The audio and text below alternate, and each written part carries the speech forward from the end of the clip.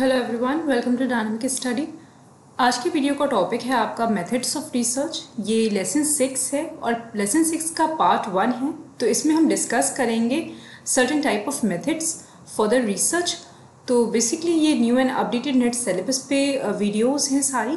तो चलिए देखिए देखते हैं आज के वीडियो में uh, क्या है बेसिक आपके लिए समझने को ओके लेट्स मूव फॉरवर्ड तो जो मेथड्स एंड टेक्निक्स होती है जिनके थ्रू हम रिसर्च कंडक्ट करते हैं या रिसर्च करते वक्त जो भी मेथड्स एंड टेक्निक्स हम अपने रिसर्च में इन्वॉल्व करते हैं उनको हम मेथड्स एंड टेक्निक्स बोलते हैं या मेथड्स ऑफ़ रिसर्च बोलते हैं। तो बेसिकली आपके कोर्स में फाइव टाइप्स ऑफ़ मेथड्स का मेथड्स uh, को इंक्लूड किया है इन्होंने। नेट के रिसर्च नेट के कोर्स में तो पहला है आपका एक्सपेरिमेंटल रिसर्च दूसरा है आपका डिस्क्रिप्टिव रिसर्च तीसरा है आपका हिस्टोरिकल देन आपका क्वालिटेटिव है एंड क्वांटिटेटिव तो ये मेथड्स ऑफ़ रिसर्च हैं जो कि आपके सिलेबस में दिए हुए हैं। उनके अलावा और भी डिफरेंट टाइप ऑफ़ मेथड्स होते हैं। ऑलमोस्ट सिक्सटीन मेथड्स होते हैं सिक्सटीन मेथड्स ऑफ़ रिसर्च होते हैं जो कि uh, मतलब टोटल होते हैं टाइप्स ऑफ़ मेथड्स में। तो बेसिकली हम ये फाइव डिस्कस करने वाले हैं। ये फाइव आपके मेन हैं एग्ज़ाम के पॉइंट ऑफ़ व्यू से। तो चलिए स्टार्ट करते हैं हमारी आज की वीडियो तो पहला जो आपका टॉपिक है, वो है experimental research method experimental research method में हम क्या करते हैं? देखिए एक्सपेरिमेंटल का जो टर्म है एक्सपेरिमेंटल का मतलब ही होता है कि कोई चीज़ ऐसी चीज़ जहाँ पे हम एक्सपेरिमेंट कर रहे हैं। अब यहाँ पे हम एक्सपेरिमेंट कर रहे हैं तो इट मीन्स क्या होगा कि हम इसको एक लैब में करेंगे, या फिर या फिर किसी सेटिंग में करेंगे। ठीक है तो यहाँ पे क्या होती है, ये ऐसी रिसर्च होती है जो कि लैब्स में होती हैं, या फिर जो कि एक मतलब किसी एक पर्टिकुलर लोकेशन पे होती है और यहाँ पे ये जो लोकेशन होती है, ये लैब्स होती हैं ओके तो ये सारी एक्सपेरिमेंट्स जो कि हम लैब्स में करते हैं और जहाँ पे हम चीज़ों को कंट्रोल कर सकते हैं, ठीक है? जो वेरिएबल्स होते हैं रिलेटेड टू रिसर्च उन वेरिएबल्स को जब हम कंट्रोल करते हैं तो that type of research is known as experimental research methods तो ये जो मेथड्स होते हैं, इनको अगर हम अप्लाई करते हैं किसी भी रिसर्च में तो वो रिसर्च आपकी एक्सपेरिमेंटल रिसर्च कहलाती है और ये जो मेथड्स होते हैं, ये जो basically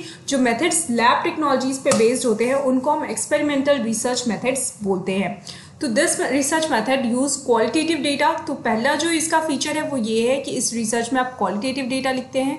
Based on cause and effect relationship exist between the independent and dependent variable तो यहाँ पे हम करते क्या हैं, जो आपके डिफरेंट वेरिएबल्स होते हैं, उनमें से जो भी इंडिपेंडेंट एंड डिपेंडेंट वेरिएबल होते हैं, उनके आपस में क्या कॉज एंड इफ़ेक्ट है क्या कॉज एंड इफ़ेक्ट रिलेशनशिप है उनके बीच में, हम ये स्टडी करते हैं। उसके अलावा हम उन, जो वेरिएबल्स हैं, उनको कंट्रोल करते हैं और उनको चेक करते हैं कि उनका इम्पैक्ट क्या है डिफरेंट टाइप ऑफ़ सिचुएशंस पे या डिफरेंट टाइप ऑफ़ वेरिएबल्स पे। मतलब मान लीजिए कि आपका पहला वेरिएबल है लाइट और दूसरा वेरिएबल आपका कुछ और है।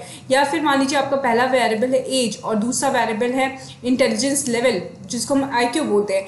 तो इस वेरिएबल का इस पर क्या इम्पैक्ट होगा या इस वेरिएबल का इस पर क्या इम्पैक्ट होगा? जैसे हम बोलते हैं, जैसे ही एज आपकी इंक्रीज होती जाती है, आपका आई क्यू लेवल जो होता है, वो उस हिसाब से डिक्रीज होता जाता है। या फिर आप रिमेम्बरेंस लेवल जो होता है, वो डिक्रीज होता जाता है। तो इस तरीके से क्या है?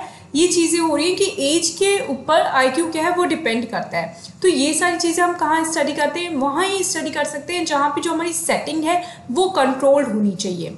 ठीक है तो यहाँ पे लॉजिकल चीज़ें हम स्टडी करते हैं। जो हमारी लॉजिकल चीज़ें होती हैं, जो जब हमें कोई भी ऐसी सिचुएशन को टेस्ट करना होता है जहाँ पे हम लॉजिकल मेथड्स लगा रहे हैं तो वो आपके एक्सपेरिमेंटल रिसर्च मेथड्स होते हैं। यहाँ पे स्पेशल लेबोरेटरीज बनाई जाती हैं जो स्पेशल कंट्रोल कंडीशंस होते हैं जिनके अंदर हम रिसर्च कंडक्ट करते हैं।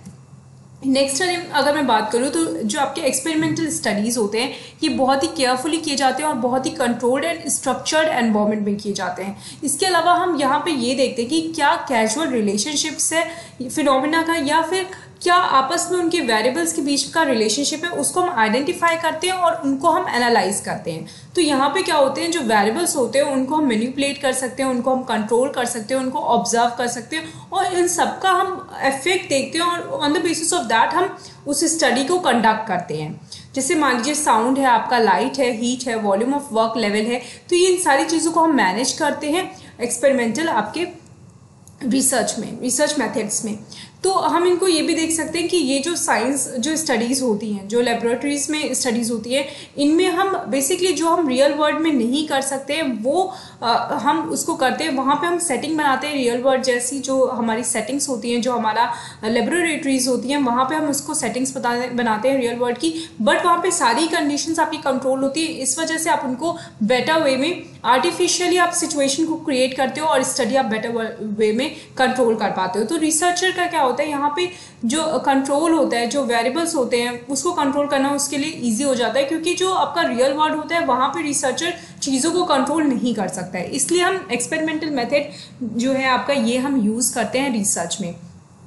आपको अगर मैं और मेथड्स के बारे में डिफाइन करूँ, जो एक्सपेरिमेंटल रिसर्च मेथड्स के अंदर भी डिफरेंट टाइप ऑफ़ मेथड्स हैं, वैसे तो आपके एग्ज़ाम के पॉइंट ऑफ़ व्यू से नहीं उतना इंपॉर्टेंट है, ये जो डिफरेंट मेथड्स हैं बट आपको बस इन्फॉर्मेशन के लिए मैं आपको ये बताने वाली हूँ।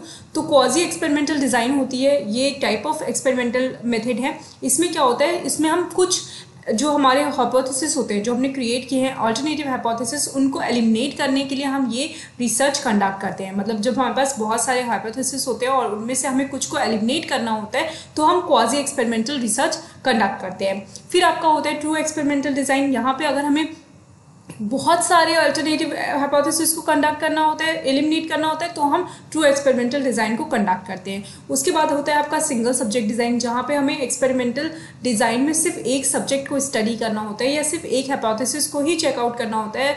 उस वेरिएबल उस पर इम्पैक्ट देखना होता है वेरिएबल का क्या इम्पैक्ट हो रहा है उस पर्टिकुलर स्टडी पे। तो हम उसमें उन सब्जेक्ट को या उस टाइप के मेथड को हम बोलते हैं सिंगल सब्जेक्ट डिज़ाइन उसके बाद आपका होता है मेटा एनालिसिस मेटा एनालिसिस में हम क्या करते हैं? जब कोई ऑलरेडी पहले से हमारे पास एक्सपेरिमेंटल डेटा प्रेजेंट होता है बट हमको उस एक्सपेरिमेंटल डेटा को दोबारा से एनालाइज करना होता है तो इस टाइप के एनालिसिस को हम मेटा एनालिसिस बोलते हैं. तो ये आपका हो गया एक्सपेरिमेंटल रिसर्च मेथड नेक्स्ट है आपका descriptive research method descriptive research method का यहाँ पे क्या मतलब है? यहाँ पे बेसिकली क्या होता है? यहाँ पे हम एक फिनोमिना पढ़ते हैं जो कि डिस्क्रिप्टिव नेचर के होता है, यहाँ पे कंट्रोल नहीं होता है वेरिएबल का। एक्सपेरिमेंटल में क्या था? वहाँ पे हम कंट्रोल कर ले रहे थे वेरिएबल को। डिस्क्रिप्टिव में क्या है? यहाँ पे हम वेरिएबल को कंट्रोल नहीं कर पा रहे हैं।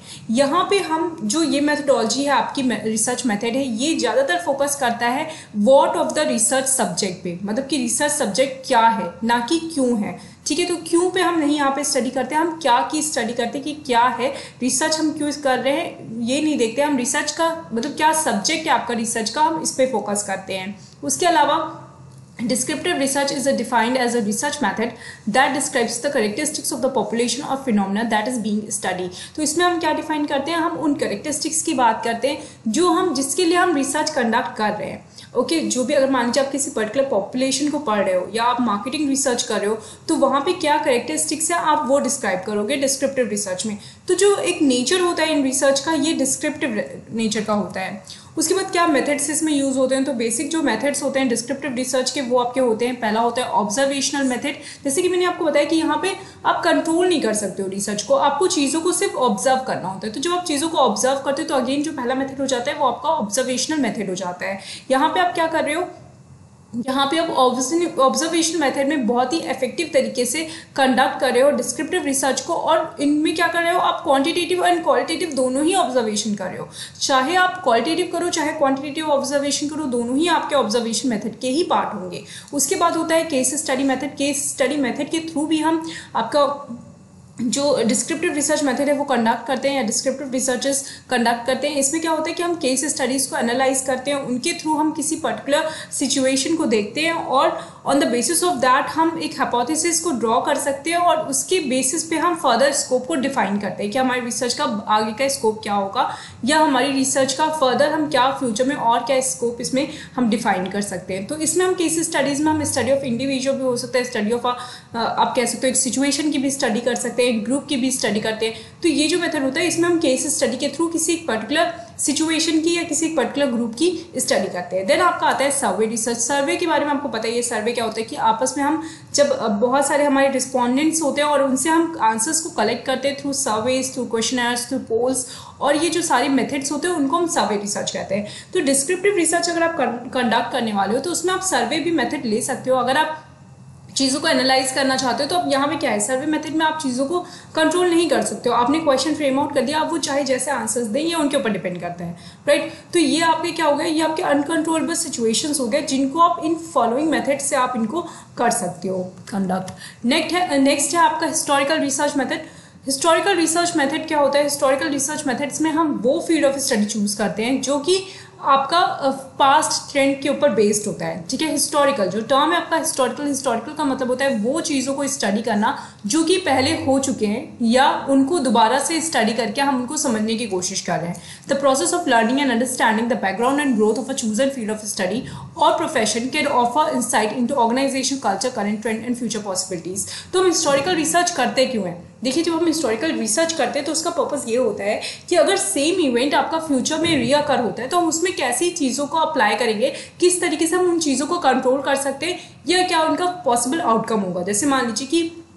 2008 में रिसेशन हुआ था तो उसके बाद बहुत सारी ऐसी रिसर्च हुई, या मान लीजिए मैं अभी एक रिसर्च कंडक्ट करूँ, जिसमें मैं स्टडी करूँ 2008 के रिसेशन की तो पर्पज़ क्या होगा मेरा स्टडी करने का? मेरा पर्पज़ ये होगा कि मैं इसलिए उसको स्टडी कर रही हूँ ताकि अगर फ्यूचर में दोबारा से कोई रिसेशन सिचुएशन आए तो हम उसको कैसे टैकल करने वाले हैं, कैसे उसको हैंडल करने वाले हैं। तो अगेन जब हम हिस्टोरिकल डेटाज को कलेक्ट करते हैं या हिस्टोरिकल रिसर्च करते हैं तो उसमें हम क्या करते हैं? हम पास चीज़ों को स्टडी करते हैं। आप पास चीज़ों को स्टडी करने के लिए आपको क्या, किस तरीके के डेटा की रिक्वायरमेंट होगी, आपको उस टाइम का मतलब आपके पास न्यूज़पेपर्स होने चाहिए, उस टाइम के आपके ट्रेंड्स होने चाहिए इकोनॉमिक ट्रेंड्स होने चाहिए, उसके अलावा आपके पास डेटाज होने चाहिए इंटरव्यूज़ होने चाहिए।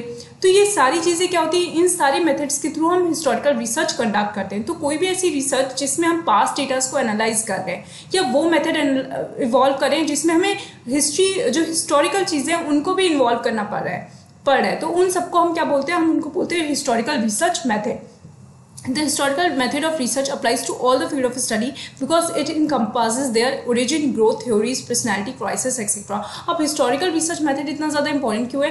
क्योंकि कोई भी चीज़ कहीं ना कहीं से origin हुआ है उसका ठीक है? अब कोई भी चीज़ अचानक से नहीं बन जाती है वो धीरे धीरे उसमें evolution होता है धीरे धीरे उसकी origin होती है। तो इसलिए बहुत ज़्यादा इंपॉर्टेंट है कि हिस्टोरिकल रिसर्च के बारे में हमें पता हो क्योंकि हर एक चीज़ की अगर आप रिसर्च करते हो तो उसमें कहीं ना कहीं उसका हिस्टोरिकल उसका जो ओरिजिन है वो आपको रिसर्च करना ही पड़ता है।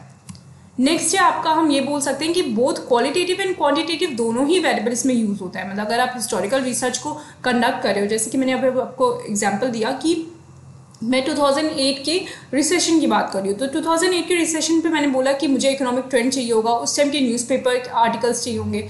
तो न्यूज़पेपर आर्टिकल्स क्या हो गए आपके? ये हो गए आपके क्वालिटेटिव मेथड्स ठीक है क्वालिटेटिव वेरिएबल हो गए। क्वांटिटेटिव में आपका ट्रेंड एनालिसिस और ये सारी चीज़ें आ गई। तो इस तरीके से जो डेटा हम कलेक्ट करते हैं, वो दोनों ही कलेक्ट करते हैं। हम क्वालिटेटिव डेटाज भी कलेक्ट करते हैं और हम हम उनकी क्वांटिटेटिव डेटाज भी कलेक्ट करते हैं। और उसी तरह हम वेरिएबल जो सेट करते हैं, जो हमारा फर्दर वेरिएबल जिन पर हम स्टडी करने वाले हैं, जो हमारे इंडिपेंडेंट इंडिपेंडेंट वेरिएबल है, वो भी हमारे दोनों ही तरीके के हो सकते हैं। वो भी हमारे क्वालिटेटिव भी हो सकते हैं और क्वान्टिटिव भी हो सकते हैं।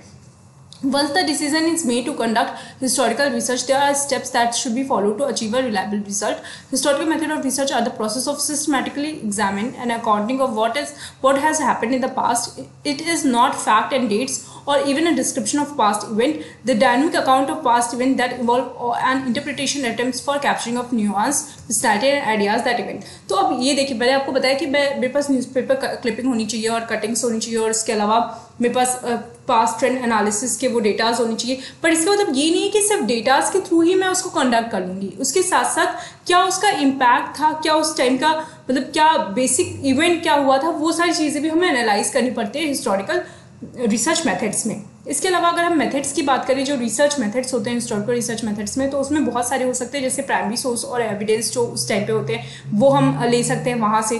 फिर उसके बाद आपके सेकेंडरी सोर्स हो सकते हैं। जिनको हम टाशरी सोर्स भी बोलते हैं जहाँ से हम रिसर्च कंडक्ट करें और जिस तरीके से उस टाइम पे हिस्ट्री लिखी गई है वो सारी चीज़ों को हम कंडक्ट करके लेके उन मेथड्स के बेसिस पे ही हम हिस्टोरिकल रिसर्च आपकी कंडक्ट करते हैं। तो आई होप आपको ये तीनों ही टॉपिक क्लियर हो गए होंगे। नेक्स्ट वीडियो में हम qualitative and quantitative method of research जो है वो कर, आपका कवर करेंगे। Thank you so much keep on watching keep on earning